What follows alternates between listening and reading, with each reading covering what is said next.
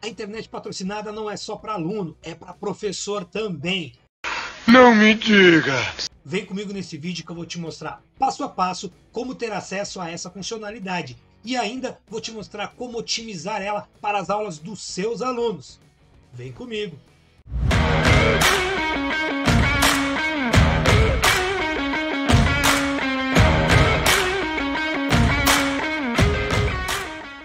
E aí pessoal, professor Aldo com vocês. A internet patrocinada já vem sendo fornecida pelo governo do estado desde metade do ano passado. Muita gente já está utilizando, já sabe como usar ela, porém ainda tem dificuldades. Eu já mostrei para vocês como utiliza o Escola RS, então eu vou deixar para vocês aqui em cima no card o vídeo onde eu mostro passo a passo como utilizar o aplicativo Escola RS. Então hoje nós vamos falar exclusivamente da internet patrocinada e eu vou dar uma dica lá no final do vídeo sobre como otimizar o uso dessa internet patrocinada para o aluno. Então vamos lá. Como é que nós vamos fazer isso? A primeira coisa, você tem que curtir o vídeo aqui embaixo mesmo. Isso aí, pessoal. Vai aqui embaixo, curte o vídeo, se inscreve no canal se você ainda não for inscrito e ativa as notificações, porque é bem importante isso para o YouTube te comunicar quando eu postar novos vídeos. Positivo! O que, que a gente vai fazer para poder ter acesso à internet patrocinada? A gente vai baixar o aplicativo para o nosso smartphone, ok? A internet patrocinada vai funcionar tanto em iPhone quanto em Androids. Lembrando que o Escola RS está dividido em três diferentes ferramentas. O Escola RS Estudante, que eu já fiz vídeo, tá aqui no card. Vocês podem mandar para os alunos de vocês para eles aprenderem e entenderem como funciona essa ferramenta. Inclusive, falei para eles como utilizar a internet patrocinada também. O Escola RS Gestor, que vai ser um vídeo futuro que nós vamos trabalhar aqui no canal, por isso você tem que lembrar de ativar as notificações. E o Escola RS Professor, que eu já fiz o tutorial, passo a passo como usar, e agora nós vamos falar sobre como usar a internet patrocinada. Então, seleciono ele, lembrando que é o verde, o amarelo é o do aluno. O acesso, então, vocês já sabem como faz. Se não sabem, volta lá, assiste o vídeo que eu mostrei como fazer para instalar e usar o aplicativo, que é a mesma coisa que se você estivesse utilizando no computador. Vamos lá, eu vou acessar o meu aqui. Lembrando que eu estou no Wi-Fi conectado aqui, tá vendo? Então estou conectado utilizando a rede da minha casa. Pronto, pessoal, estamos dentro do aplicativo e vocês podem ver que aqui em cima esse ícone ele tá escurinho, né? Tá vermelhinho. Como é que a gente vai ter acesso à internet patrocinada? É muito simples. É só você desligar a sua Wi-Fi. Puxou aqui, desliga a sua Wi-Fi e pronto. Vai automaticamente aparecer essa mensagem avisando que o Escola RS vai criar uma conexão VPN, vai aparecer este ícone na parte superior e é só você clicar em OK. Pronto, ele vai configurar a sua internet gratuita. Aqui vão aparecer esses ícones, ele vai configurando. Pode ser que apareça uma mensagem, é só dar OK. E pronto, resolvida a situação. Duas coisas que vão aparecer. O ícone aqui mudou, né, ficou clarinho, ficou verdinho. E aqui em cima vai aparecer essa chavinha. Com isso aqui, pronto, você tem acesso à internet patrocinada. O que, que você pode fazer com essa internet? Lançar suas notas, chamada, diário de classe e acessar o Google Classroom através deste atalho clica aqui, ele vai automaticamente te levar para o Google Classroom e você vai ter que acessar ele pelo seu e-mail arroba educar. Olha só, pessoal, isso é muito importante. Se você abrir nas notificações do seu telefone, se você tiver o seu Google Classroom nas notificações do seu telefone e ele aparecer e você clicar lá, o que, que vai acontecer? Você vai ser encaminhado para o aplicativo do Google Classroom que você instalou no seu telefone. E aí você não vai ter internet patrocinada. Então, como é que você faz para poder acessar o Google Classroom, o Google Sala de Aula? Tem que primeiro abrir o Escola RS e depois clicar aqui. Aí você vai ser encaminhado para o seu Google Sala de Aula. O detalhe que vocês precisam levar sempre em consideração é que vocês precisam, para fazer o primeiro acesso, ter um plano de dados ativo no seu telefone. Pode ser pré-pago, pode ser pós-pago, controle, não importa. Não vai consumir os dados do plano, mas ele tem que estar ativo. É assim que a gente vai ter o acesso à internet patrocinada. Muito fácil, muito simples. Agora eu posso ligar meu, meu Wi-Fi. E o que vai acontecer? Eu vou estar usando o aplicativo na Wi-Fi. No momento em que eu não tiver sinal de rede Wi-Fi, ele vai automaticamente para a internet patrocinada se eu acessar o aplicativo. Vamos lá, vou mostrar para vocês. Eu abro o Escola RS e olha só, ele vai começar a trabalhar. Estamos configurando. Apareceu essa mensagem, é só dar OK e aqui ela vai aparecer. Você está navegando de graça. Fecha e pronto. Você tem acesso gratuito para a sua navegação. Pode bolar suas aulas, pode fazer o que você precisar aqui. Ok? Então, uh, infelizmente, você não vai conseguir ter acesso ao Meet, por exemplo, que seria muito importante oh. né, a gente ter acesso ao Meet, mas ainda não está liberado. Você não vai ter acesso ao YouTube também, que seria bem importante para a gente poder procurar videoaulas e tudo mais, mas não tem esse acesso. Você vai ter acesso ao Escola RS e ao Google Classroom. Então, se acostumem a fazer as atividades do Google Classroom e do Escola RS a partir daqui, que vocês vão poder acessar tranquilo. Beleza, mas eu disse para vocês lá no início que eu iria ajudar vocês a otimizar o uso do aplicativo para o aluno nas suas aulas. O que, que a gente vai fazer? Como eu disse, não tem acesso ao YouTube e nem ao Google Meet, ok? Vocês não conseguem que o aluno possa acessar um vídeo que está lá no YouTube que vocês postaram um link. Mas, mas, mas, mas temos uma forma de né, conseguir dar uma voltinha nessa limitação. O que, que a gente vai fazer agora? Vamos postar uma videoaula para o aluno. Pode ser uma videoaula sua, pode ser uma videoaula que está no YouTube. Ou aquela aula síncrona, sabe a aula síncrona que você fez através do Meet? Sei. Então, você tem ela salva no seu Google Drive. Lá do Drive, você vai mandar o link para o aluno e ele vai poder baixar essa aula ou assistir ela utilizando a internet patrocinada. Mas ela tem que estar no Drive.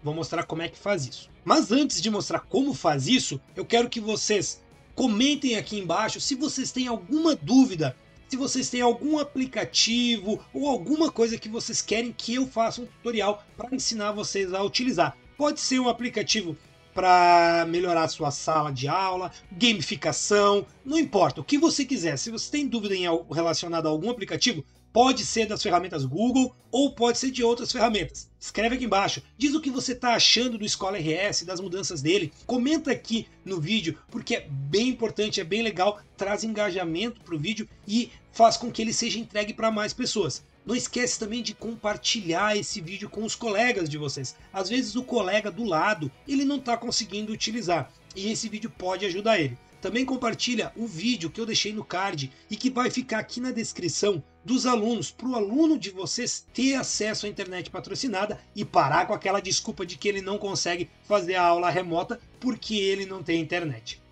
Vamos lá, eu vou dar a dica agora. Como é que nós vamos pegar uma videoaula ou um vídeo que está no YouTube e vamos fornecer a esse aluno?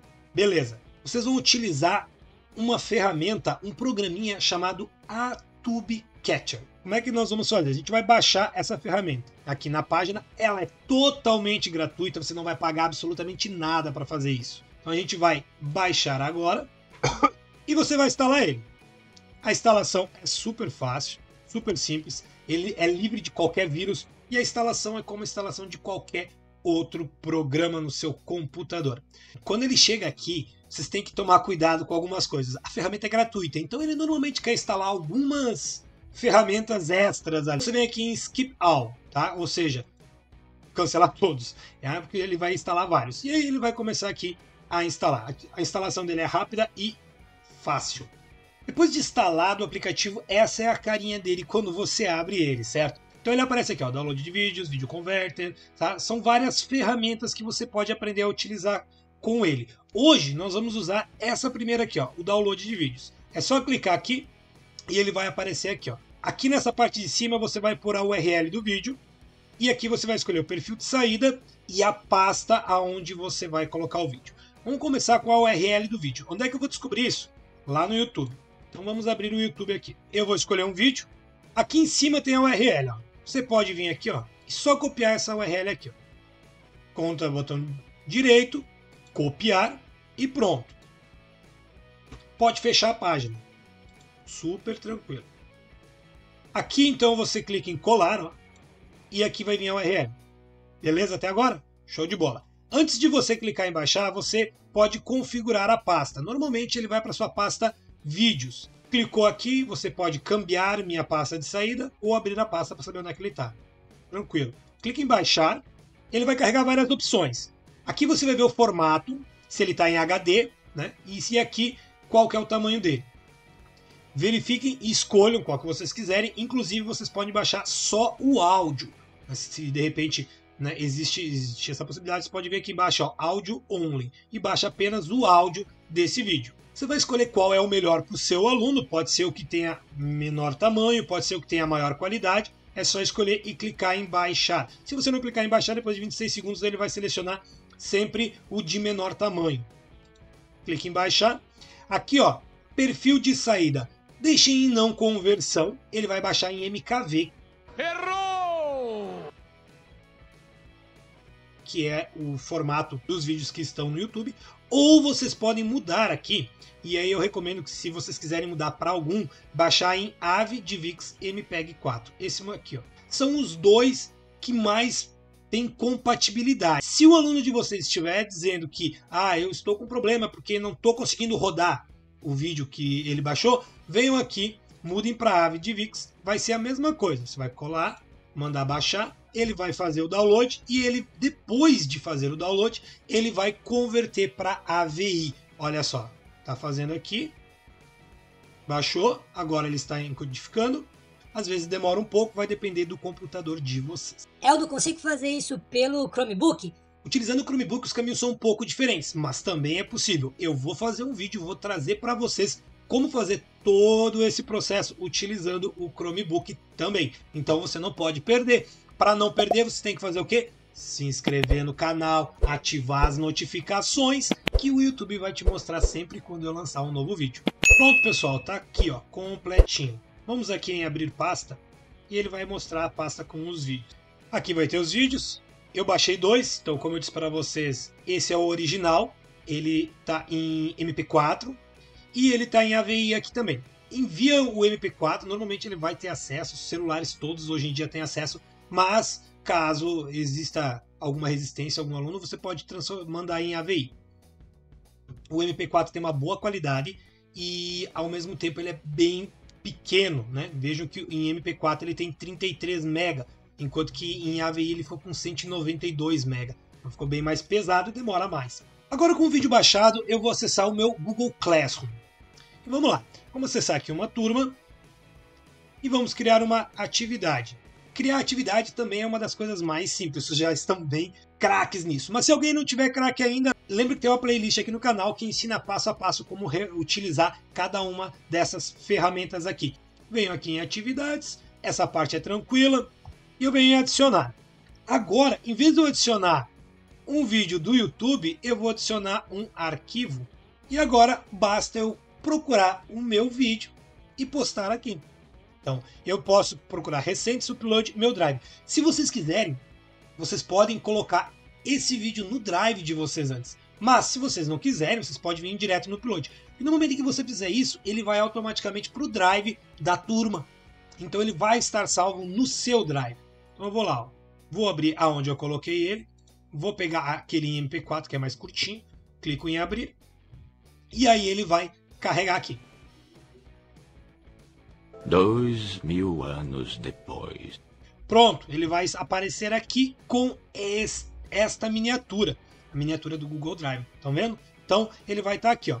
Bem tranquilo, você clica em criar atividade e o resto é normal como qualquer outra atividade. Você pode duplicar, passar para outros alunos, etc. Como é que a gente faz então com um vídeo que seja muito grande, que não dê para colocar ali? Isso pode acontecer com a sua aula síncrona que ela ficou muito grande. Às vezes a gente faz uma aula síncrona de meia hora, 40 minutos, e aí você não consegue baixar ela no computador e jogar ela aqui. Então é bem simples, é só você vir no seu Drive. As aulas síncronas elas estão automaticamente dentro desta pasta, ó, Meet Recordings, ou seja, gravações do Meet. Você abre a pasta. Seis horas e meia depois. E você pode selecionar uma dessas aqui, clica com o botão direito dela, gerar link você vai copiar aqui, ó. Lembra de sempre verificar aqui, ó. Somente as pessoas adicionadas podem abrir com este link. Isso não vai dar, o aluno não vai conseguir ver. Você precisa mudar aqui, ó, para qualquer pessoa com o link. Feito isso, aí sim você pode copiar o link. Se você deixar daquele jeito, você vai ter que adicionar aluno por aluno. Se você deixar aqui nessa segunda opção, SEDUC, Secretaria da, da Educação do Estado do Rio Grande do Sul, qualquer um com o arroba educar vai poder ver. Mas se ele não tiver o arroba educar, ele não vai conseguir. E por que, que eu normalmente digo para você deixar com qualquer um? Às vezes, quando o aluno acessa pelo telefone, ele clica lá para assistir e automaticamente o celular dele acaba mudando para o Gmail e às vezes acaba dando que ele não consegue assistir. Então deixa como qualquer pessoa com um link. Copia o link, conclui, volta lá para sua atividade, adicionar, aí aqui sim você vai adicionar um link. Dá um Ctrl V aqui, adiciona, pronto, vai estar aqui. Segunda forma de você adicionar um arquivo grande. Você vem aqui em adicionar, ó, Google Drive, ele vai abrir direto seu Drive. É mais fácil do que fazer essa de copiar o link, mas é uma outra opção. Você vem aqui no Meu Drive, tá vendo? Você vai vir na pasta onde está o seu link. No meu caso aqui, eu quero mandar um Meet para eles, quero mandar a aula remota, que eu, a, eu quero mandar a aula síncrona que eu fiz. Seleciona ela aqui, um item selecionado, inserir.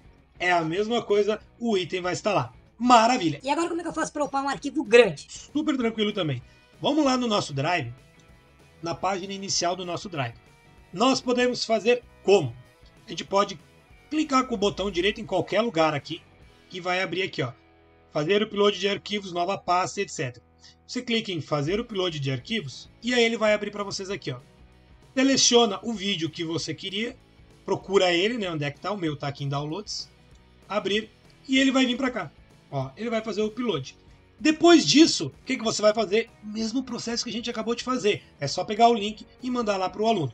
Você também pode fazer diferente. Você pode vir aqui na pasta, diminuir o tamanho dela aqui, seleciona e puxa. Solta ele aqui, ó. Tá vendo que ele vai aparecer a copiar? Você pode soltar direto dentro de uma pasta ou só largar ele aqui. Largou aqui, pronto. É como se você estivesse passando ele para uma pasta do computador. Ok? E ali ele vai carregar para vocês aqui. Carregou, é só pegar e fazer o mesmo passo a passo. Então, pessoal, por hoje era isso. Eu vou deixar com vocês um vídeo sobre a escolha do PNLD 2021 que mudou muito relacionada à escolha dos outros anos. Então você não vai perder, não é? Curte o vídeo, se inscreve no canal, compartilha com seu colega e deixa seu comentário aqui embaixo, ok? Te espero no próximo vídeo e um forte abraço.